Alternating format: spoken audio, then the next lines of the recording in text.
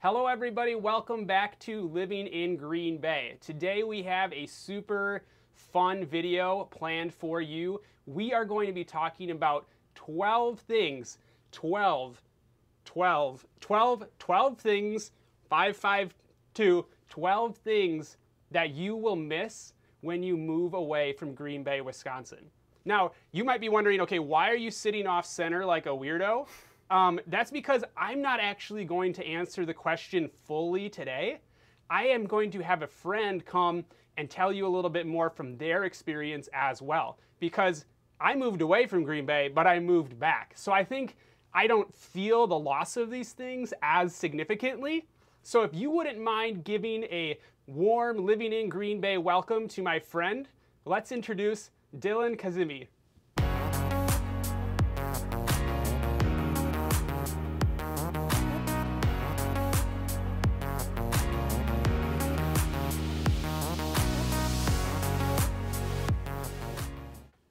Hello and welcome back to Living in Green Bay. My name is Andrew Guywitz. I'm your local real estate agent here in the Green Bay, Wisconsin area. And like I said in the opener, we have a special, special guest with us today. We're talking about 12 things that you're going to miss when you move away from Green Bay, Wisconsin. And if you're somebody watching this who hasn't moved to Green Bay, then these are kind of like things you're missing out on by not being in Green Bay. And some of these are broader Wisconsin level things, but they apply to Green Bay too. So don't be hard on Dylan uh, or me or anything like that. But uh, if you have things that you miss when you moved away from Green Bay or moved from Wisconsin or whatever, put them in the comments section below. Let's see how big of a list of things we can get.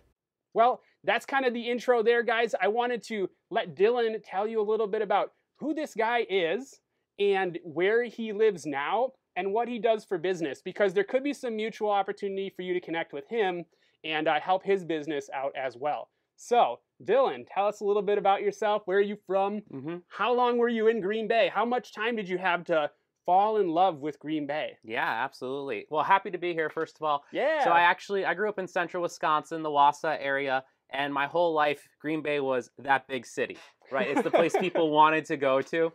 Uh, so I actually I went to school in Green Bay for two years and then lived here for about three and a half years afterwards. So altogether five five and a half years. And really, the big monumental milestones in my life happened. I got married here. I had my first kid here. You met me here? I that's true. Yeah, yeah. come on, baby. Yeah.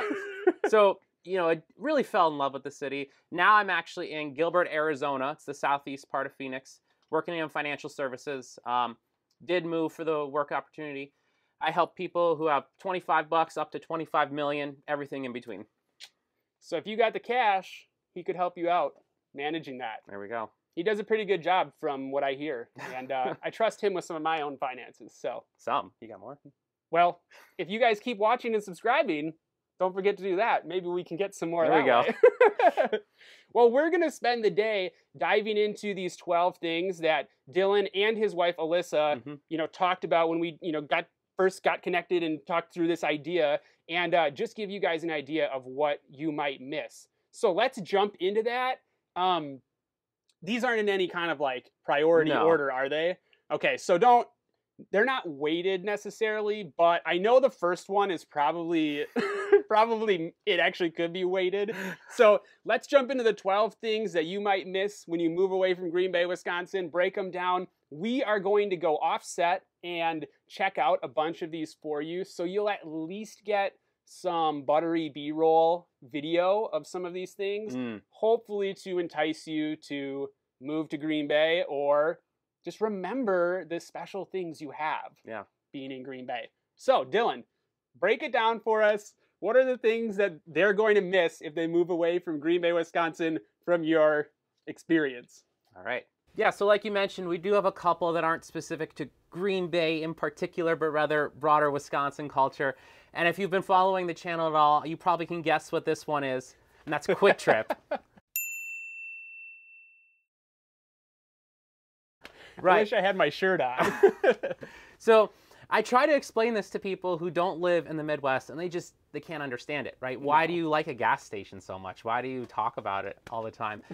and you have to really experience it to understand. Whether it's mm. the Karuba Gold, the the fresh donuts all the time, Mhm. the for reals, the Ooh. the gas itself, you know, or just that warm feeling when you step into it. Mhm. I know after we moved to Arizona, when we came back to visit the first time, I walked into Kwik, Kwik Trip and it seriously felt like going home on Christmas.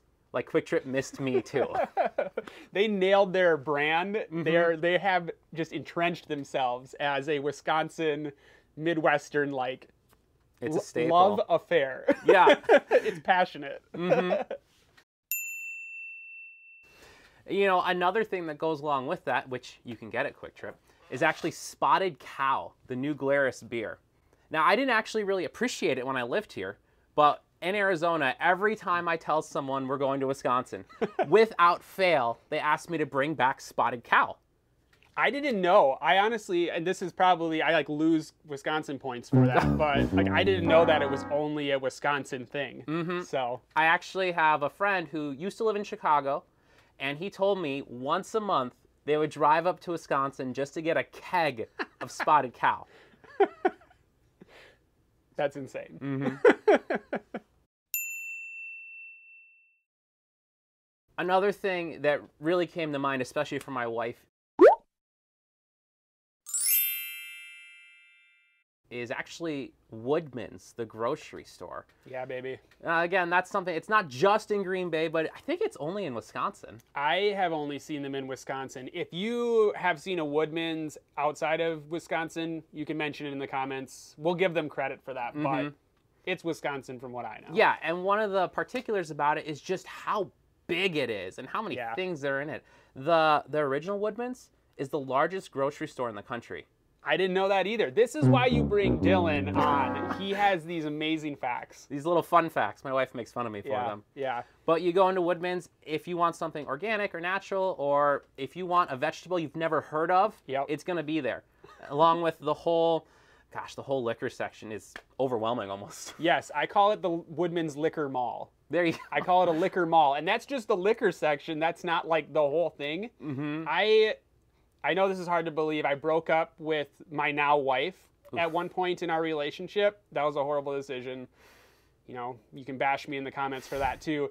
Uh, but I did get her back. Thank you, Alicia. I love you. But I remember going to Woodman's to go shopping with, you know, being kind of solo again in my life. I legit, and I'm gonna be raw with you guys. I legit cried in the in the store because it was so massive and I felt so lonely. so if you are in the middle of a relationship separation, try a smaller store like the Red Owl on the east side or on the west side of Green Bay or something like that because the massive Woodman's crushed my soul Oh at my that point. But I love the store. Well, maybe something a little happier, right, is the bar. And it- it's called The Bar, right? And ah, so many good memories there, especially they have their cheap wing night. What is it, like 50 cents a wing? I mean, it yeah, it used to be. I want to say 30 at one point, not Yeah. anymore. Oh, so I remember so many times, whether it was my wife's birthday or just a group of college kids getting together, going there, being able to have that amazing quality wings, which in Arizona, I still haven't found wings as good as the bars. Yeah. being able to go there, spend a couple of bucks, watch the Packer game. Oh, beautiful. And they have dedicated gluten-free Yeah. fryers. So if you are someone who has dietary issues related to gluten, um, they can really accommodate you like super well. Both of our wives avoid gluten, right? Mhm. So uh, it's it's something that you know they can really help you out that way if that was something you're looking for, and you still wanted a sports bar, which those two things don't mesh Yeah. that often. And the real kicker, you go there on your birthday and you drink for free. You get a nice little Oh. glow up button. So as far as something specific just to Green Bay, Yeah. and I mean really just Green Bay, you're not going to get this anywhere else, and that's Lambeau Field. Not just Lambeau, but broader having an NFL team in a city of 100,000 people, right? it's not you know it won't happen ever again. Oh my gosh. And you know, where I live, Gilbert, it's the largest town in America, 250,000 people. And I tell people, imagine if Gilbert had an NFL team and they're they just can't handle it, right? That's what it is here in Green Bay. Yep.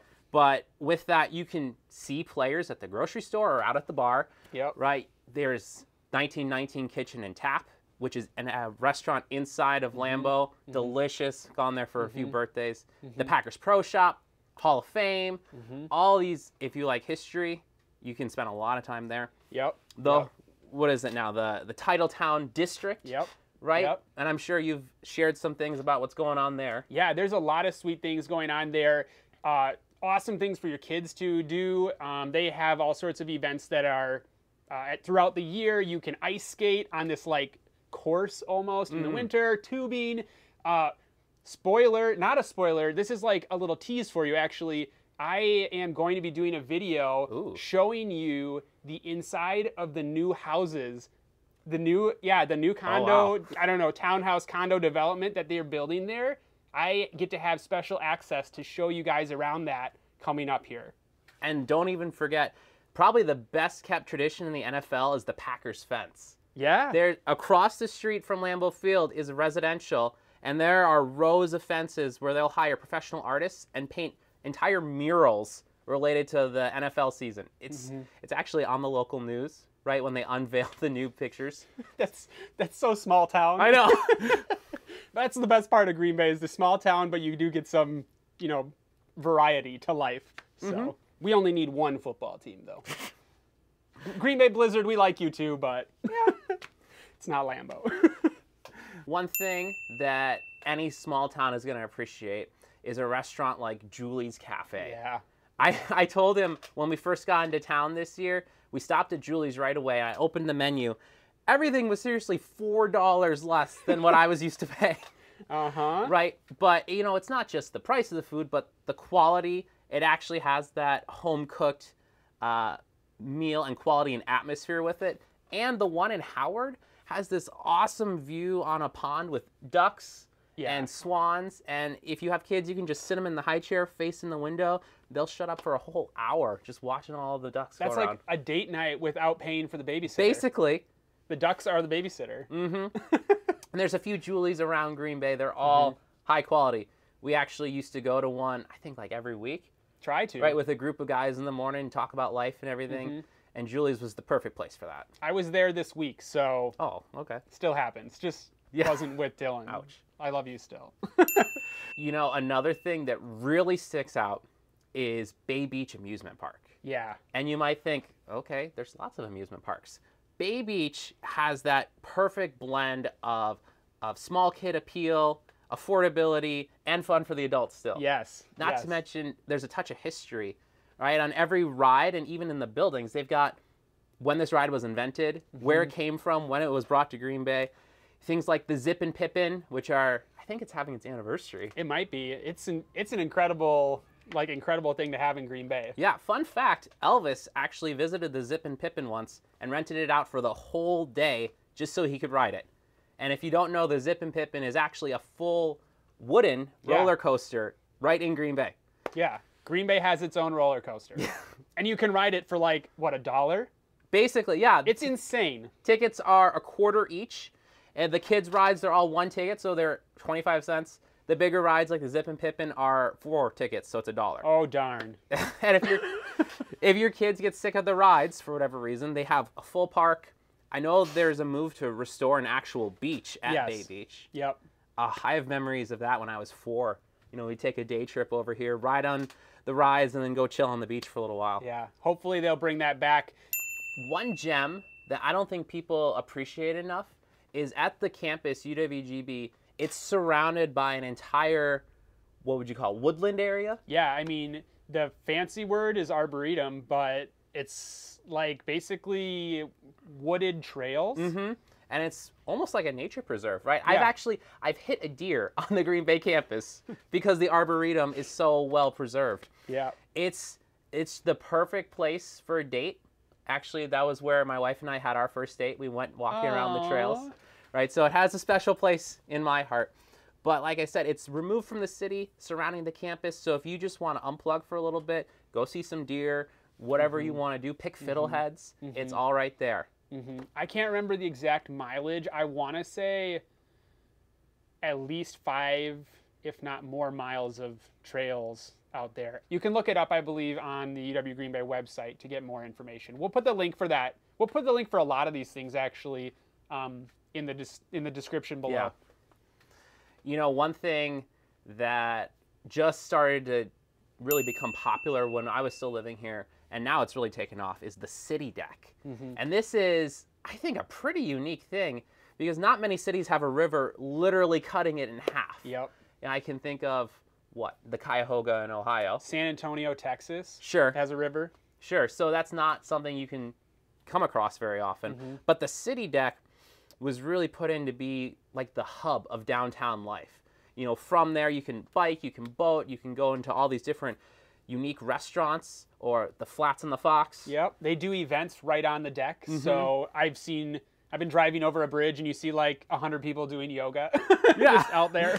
Or they bring in some live music. You even have protests and demonstrations on the Mm-hmm. city deck. It really is becoming integrated into the fabric of the city. Yeah. Which makes sense because it's right there. Everyone can get to it. And I think we're actually going to go visit it today. Mm-hmm. Oh right? yeah, we're going to go check it out. If you live in any city of, you know, a good size, you probably have a local farmers market. But I'm pretty confident it's not like the one in Green Bay. There's not a lot like it. No, and you know I live in Gilbert, right? So there's there's still farms around, and we have a pretty nice farmers market. It's not really food though. Most of the things at the farmers market are going to be like boutique shops where you can buy crafts that people made, and they'll have food trucks, but very few actual farmers with their food, Uh-huh. uh-huh. right? So I go to the Green Bay farmers market. I can get bison, I can get sheepskin, I can talk to the actual farmers, Yeah, right? Yeah. it's not just high quality stuff, but they literally take over an entire downtown street Mm-hmm. every week. Yeah, I mean, there's two of them, one on Saturday and one on Wednesday. Mm-hmm. They operate, I think, a little differently, but same idea and same same quality of people. Yeah, and uh, I think a real benefit of it is they actually do accept EBT tokens. Yep. So if you do want to get some high quality food and you have a little limited options, Mm-hmm. that's always a great place to go. Yeah, you run into that idea of these like food deserts in Mm-hmm. the middle of cities because of the uh, lack of access to fresh food. And this, I mean, these are both located downtown, there. on like right next to the river, and uh, to be able to access fresh food and all of that kind of thing with that government subsidy is a huge blessing for somebody um, to get what they need and have a healthy life. hmm Plus, if you wanna, this might sound really Wisconsin. If you wanna buy like a quarter cow or a half cow, Yeah. you can negotiate right there with the farmers and lock in your rate. Which, for a lot of people, that sounds crazy. Did you do that? we did actually. We got a quarter cow with my father-in-law. Yeah, baby. Any list of things in Green Bay that you'll miss wouldn't be Yeah. complete without talking about the cost of living. Yep. we, you know, the housing market is bananas right now. We just closed on our refi and our property value went up 90 grand in eight months. Okay, so it's the cost of living is very, very different where I'm from or where I live right now versus in Green Bay. And I was looking around, driving through different neighborhoods. It's not just that the houses are so affordable, but there's such a big variety. Yes. You can go to the Astor District, which is a lot of the more historical Mhm. homes. Mm-hmm. I mean, they are very, very impressive. Gorgeous. You can go to things like Navarino, which I Mhm. think you've We spent did a neighborhood video there. Yeah, Navarino, and have uh, different kinds of houses. You can go Suamico, Howard, down to De Pere for more of that uh, city kind of feel with your homes. Mm-hmm. Just a lot of variety, all at a very affordable price. Mhm. Not just houses, everything. you heard about his uh, his food experience with Oh Julie's gosh. already. So I mean, it's all it all ties into the economics of what you're getting paid and where you live and Sure. whatnot. But when someone from out of town or who moves away goes to the, where they are or comes here from where they are, you can see the difference. Oh my gosh, yeah. And that's one reason why I also have investors calling me to buy property here with their money from, say, the West Coast or mm-hmm. I mean, East Coast or Arizona or wherever, where these property values are just nuclear. It's really hot here too. Don't be, pretend if you want to sell your house here, you're going to make a lot of money, um, most likely. You know, be careful, but use you know use an, a real estate agent who's Right. really good like me. Uh, but anyway, yeah, just like you can bring your money here and it'll go a lot farther. No matter what it is you're trying to buy. right? We, Half a cow is that? half a cow, you could do that. The last thing, and I, I couldn't finish this list without mentioning it, is actually the people in Green Bay, right? aw. I think Andrew has talked about it before that a lot of the charm and appeal of Green Bay is that tight knit community Yep. where it's people you can actually know and you can go through different stages of life with. Mm-hmm.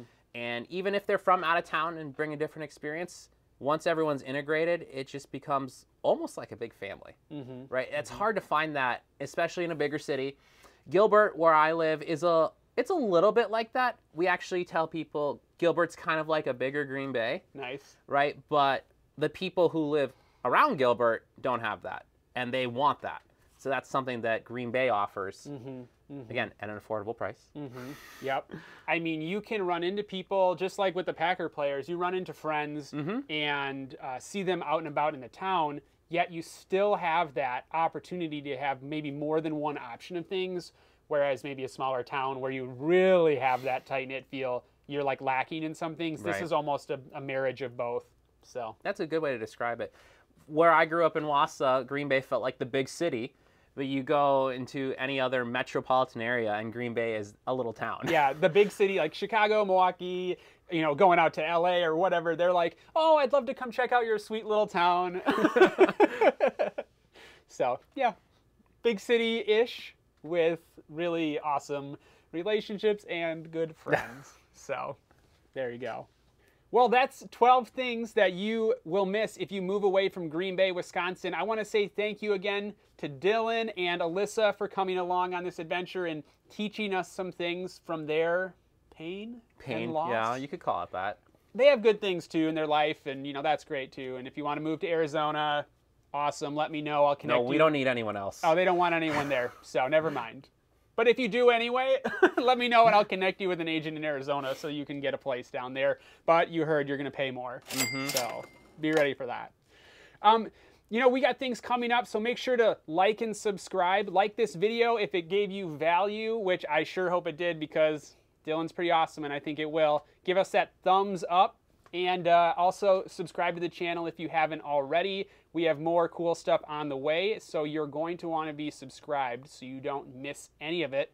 Hit that little bell to get notifications too if you haven't already because life is busy and you need things to remind you. so I know I do. But that you know that wraps up the video. Thanks so much for watching. If you have any real estate needs, make sure to hit me up. My information is in the description below as well, and we will talk to you guys again on another video of living in Green Bay soon.